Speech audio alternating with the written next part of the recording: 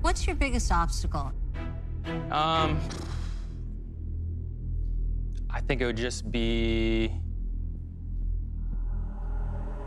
I don't know. What do you think, Chico? The capital intensive and having the connection connection of like a shark. You're not persuasive at all.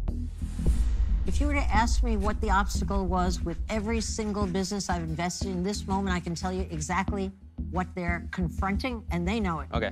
So our biggest obstacle with this is capital. We just we have opportunities. We just can't fulfill those opportunities because we don't have the money for inventory. I have to stop since it you is there. a I have to stop you there. I've never seen a business, a young entrepreneur, inexperienced entrepreneur, whose problem was solved by money, period. Yeah.